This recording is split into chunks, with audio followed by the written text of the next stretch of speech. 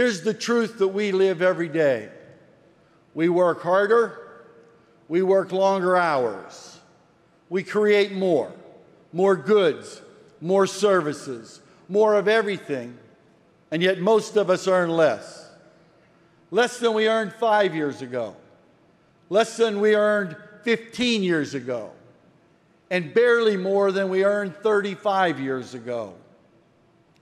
And our biggest employers, Walmart and McDonald's, well, their whole business model is about keeping the people who work for them poor. And Wall Street cheers them on. You see, it's time, my friends, to turn America right side up. And to turn America right side up, we need a real working class movement. And if that's going to happen, we, our institutions, have to do some things differently. We must begin here and now today the great work of reawakening a movement of working people, all working people, not just the people in this hall, not just the people that we represent today, but everybody who works in this country.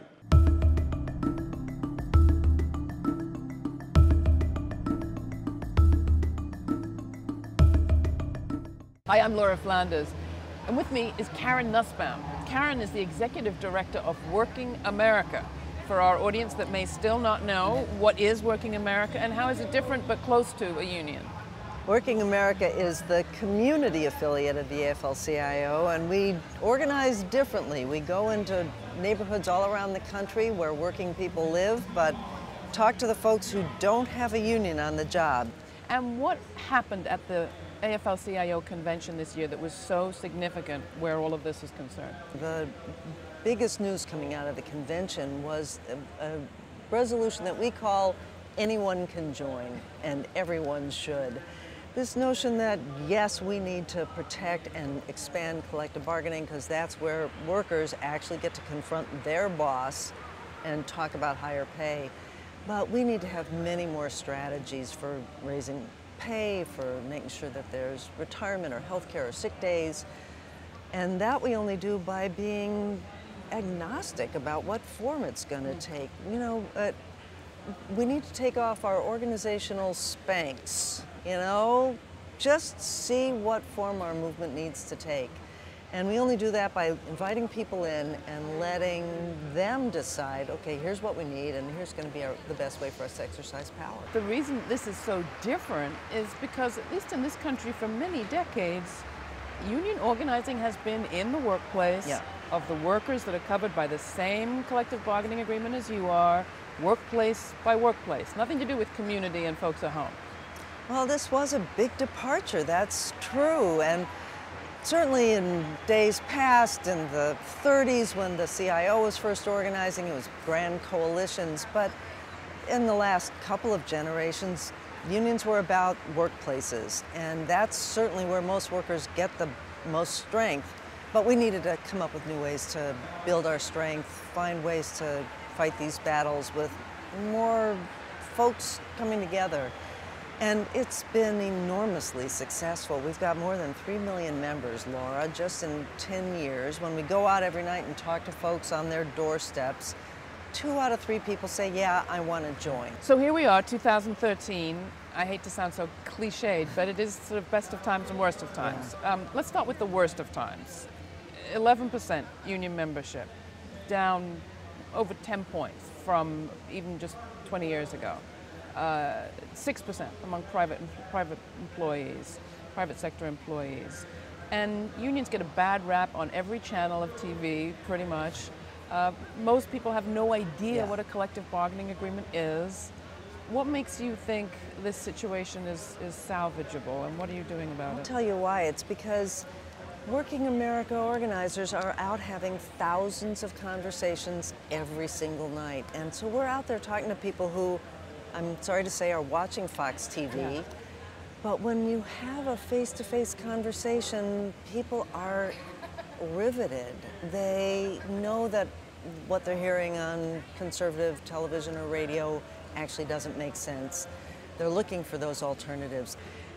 We need to break out of the old ways of organizing. The more we let the National Labor Relations Act decide who can be a union member, the more we're likely to fail.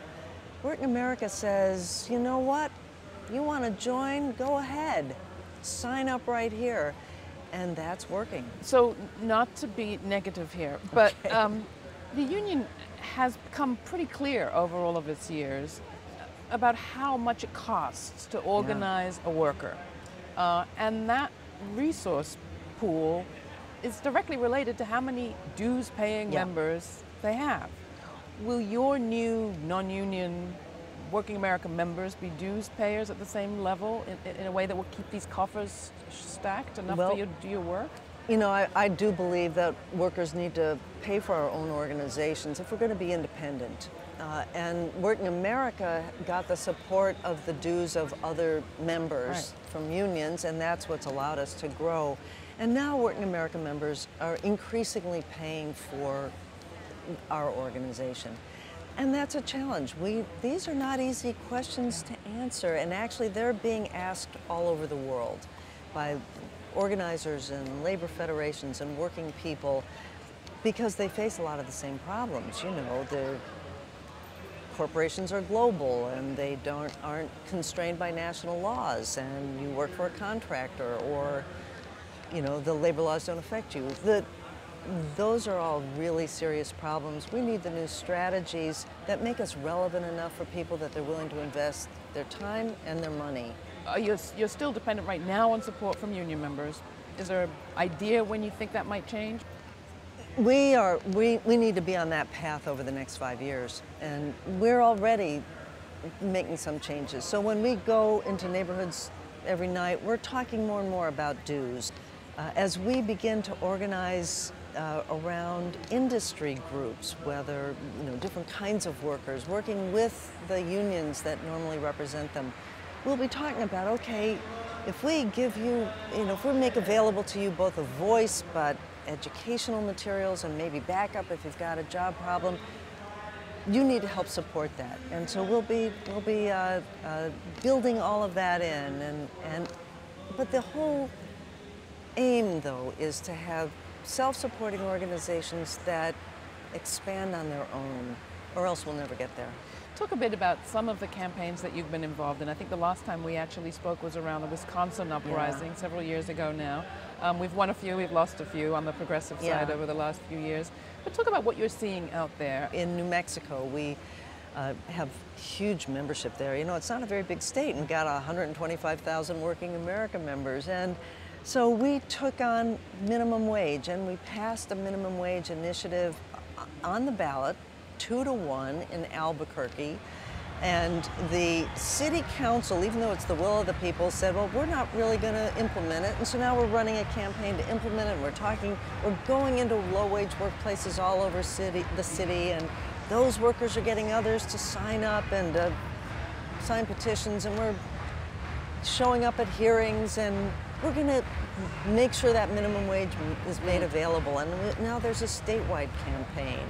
In Minnesota, we've got a campaign with all kinds of part-time workers to uh, pass legislation on scheduling and at the same time put pressure on employers around work hours.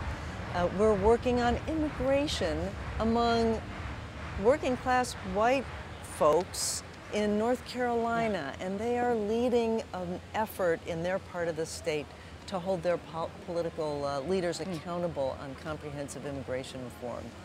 Uh, we're doing a, a campaign on job outsourcing in Wilkinsburg, Pennsylvania, that's totally run by Working America members and their friends to pass an outsourcing bill. So it's covering a wide range, it's locally based, it's about real life issues, and in some cases, it's really taken on the hardest questions. How do you answer the folks who say, I'm worried about mission drift by our union? Uh, we've got enough trouble in our, at the negotiating table. Um, do I really want to be spreading my investment, financial, but also my energy uh, so widely on so many issues outside of the workplace? I really respect the challenges that unions are facing, and I think if we don't respect that, then we're out to lunch. But the beauty of Working America is that when all the unions come together, they can say, let's meet the needs of our members while we create a laboratory of, of, for change that all of us can help support and all of us can benefit from. And we can pick and choose too. We don't all have to look alike. And I think that's what came out of the AFL-CIO convention, really a resounding endorsement of that approach.